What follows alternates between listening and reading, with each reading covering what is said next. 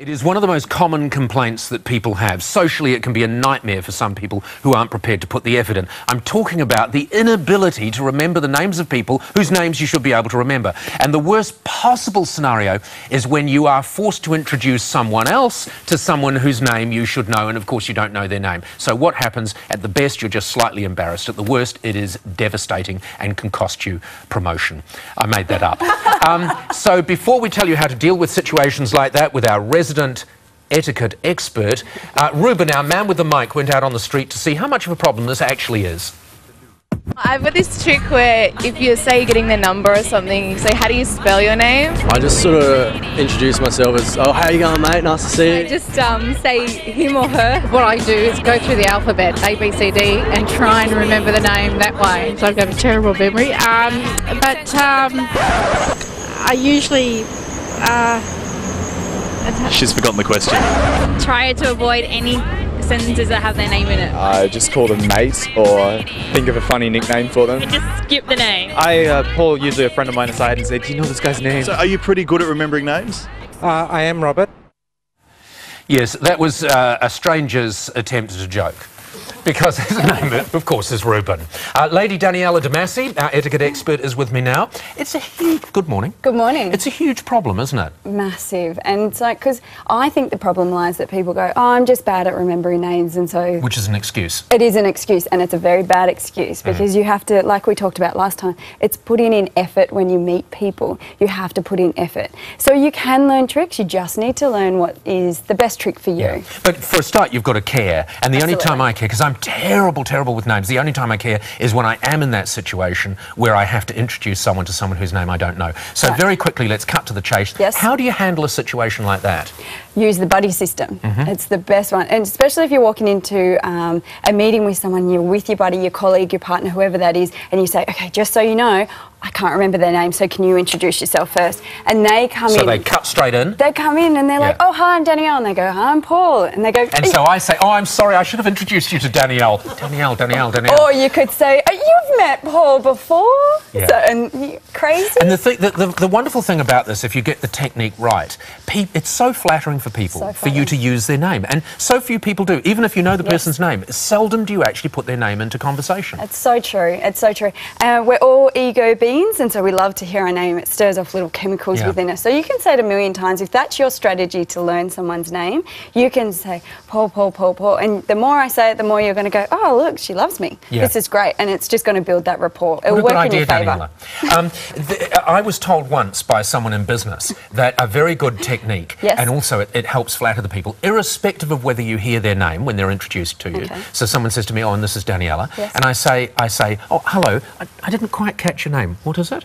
Right. And you know, and you repeat it, lovely. and, and it's just a lovely opportunity. Both it helps you lock the name in, but also it shows that you really care. That you are really in the It's moment. actually fake, isn't it? Really, you're pretending you care.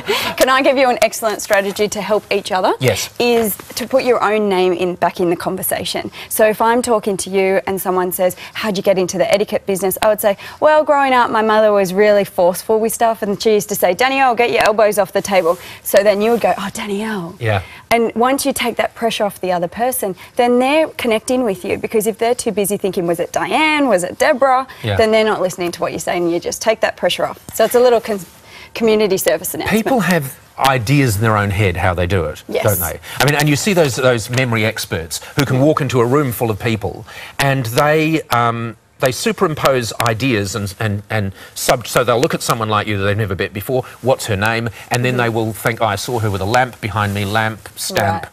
Ramp. Danielle. Danielle. um, are there any tips like that that actually work? There's a lot of tips out there that work. A really good one, actually, Roosevelt, uh, the lamp, president. Stamp, lamp, ramp.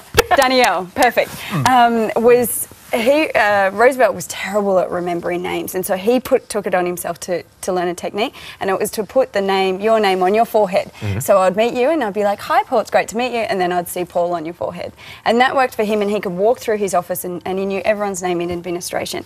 Uh, another trick is, like we said, saying the name over and over again, um, and another trick is to write it down as soon as you meet them, mm. uh, or put them straight into uh, social media. We have that if it's in a social context, that you can go, "Oh, let's connect." Connect on LinkedIn or Facebook, and that's a really good way to. But the most it. important thing, and I actually circled it here on my notes, it takes effort. It does take and effort. it, it is worth it, is it? It's Yes. worth making the effort. If you if you meet someone, then meet them again, and they remember your name, you feel so special. And once you've got that connectivity, you're really going to go on to have a great relationship with them. All right, So all right. important. Um, just very finally, in the very finally, just Yeah. just to end this interview, if we can, to bring the whole thing, the whole nightmare to a close.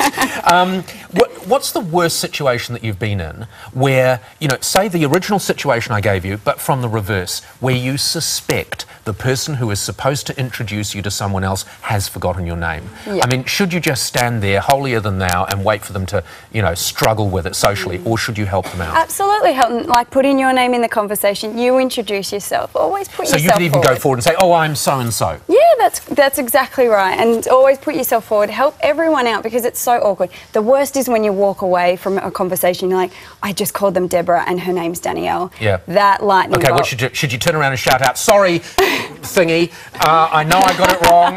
Thingy. Should you do that straight away? Okay, first of all, don't call them thingy. That's not going to help. Um, second of all, no, just fix it next time. Just move on, pretend it didn't happen, and just correct it. Right. But, sorry, what did you say? You, you mention it straight away, though, don't you? Listen first. Yeah. But if it does happen, you Yeah. should acknowledge it. You shouldn't just walk away and beat yourself up for the rest of the evening. If you've already passed, you Yep. just move on, and Oh, next really? time, make it. Don't go back to them, uh, and just move on. But next time, make sure that you you use their name correctly. Danielle, that's fantastic. I called you Daniela during the. I know, I did It's that. better than Diane. I did that, yeah. Oh, was it Diane? Sorry.